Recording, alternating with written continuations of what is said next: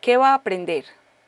Usted aprenderá a nivel general a calcular la fuerza, el trabajo, la energía y la potencia necesarios o determinados en el funcionamiento de los dispositivos mecánicos y fenómenos naturales aplicando los conceptos de las leyes de Newton.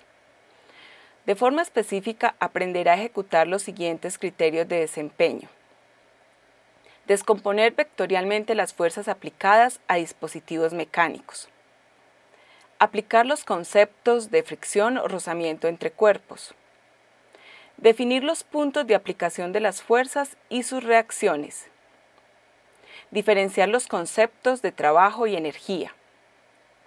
Resolver situaciones de cuerpos en movimiento que realizan trabajo mecánico con respecto al tiempo. Aplicar las ecuaciones de energía y su relación con el trabajo. Diferenciar los fundamentos de Newton y Einstein entre estática y dinámica. Resolver situaciones de cuerpos en movimiento que realizan trabajo mecánico con respecto al tiempo.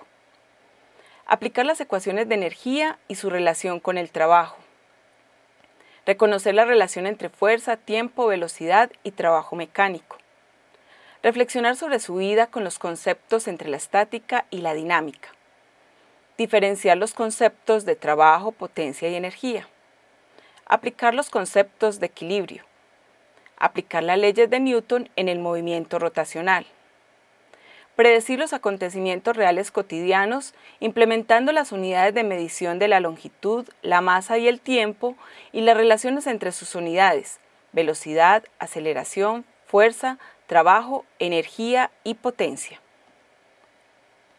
¿Cómo lo va a aprender?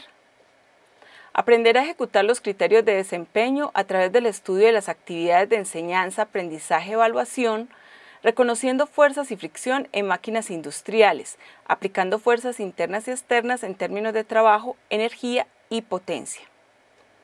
Deberá realizar tareas interactivas de aprendizaje de carácter formativas y sumativas. Tenga presente que al inicio de esta unidad llevará a cabo la actividad de enseñanza, aprendizaje y evaluación denominada Confrontando mi saber, que busca reconocer qué tanto sabe sobre lo que va a estudiar y en la que deberá realizar tareas interactivas de aprendizaje formativas.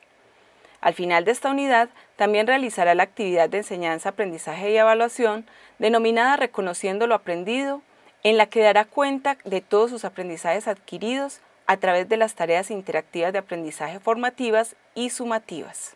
Hasta este momento ha aprendido a identificar los tipos de movimientos presentes en diferentes contextos y a determinar tiempos, posiciones, velocidades y aceleraciones, variables que intervienen en procesos productivos, sistemas mecánicos, elementos de máquinas o en la misma cotidianidad, pero no hemos estudiado las causas que producen dichos movimientos. Establecer las causas de los movimientos nos permiten controlar dichos movimientos y tener criterios reales a la hora de tomar decisiones importantes.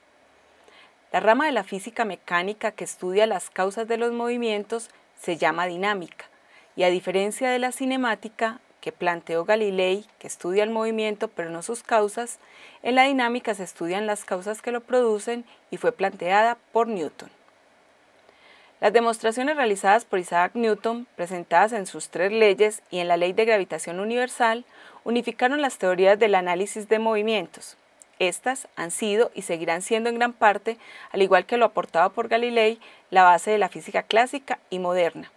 Sus principios están en muchas situaciones cotidianas que están presentes de manera constante e independientes del tiempo que transcurra o haya transcurrido, por eso se han convertido en leyes naturales. Sus teorías de movimiento, objeto de estudio en la dinámica de cuerpos o partículas, representan el principio de la evolución de la tecnología. Esta evolución ha avanzado de acuerdo a los principios, entre otros, de las leyes de Newton. La introducción a la física mecánica, específicamente a la dinámica, es una oportunidad para que analice los diferentes tipos de movimientos, establezca sus causas y determine sus modelos matemáticos, importantes para tomar decisiones de control de variables que intervienen en procesos productivos, sistemas mecánicos o elementos de máquina. El propósito de esta unidad didáctica es estimular su capacidad de análisis suficiente para observar la realidad física como un sistema de propiedades o atributos físicos observables, medibles y contables, de llevar una propiedad o característica física de un cuerpo o situación determinada a la comparación real con una unidad de medida establecida y normalizada, de expresar cada propiedad o atributo físico en forma lógica y numérica y poder cuantificar dichas propiedades en cantidades reales. Para la unidad didáctica esta capacidad es muy importante y útil para la comprensión de la realidad, su relación con la física y su aplicación en la cotidianidad de lo natural y social.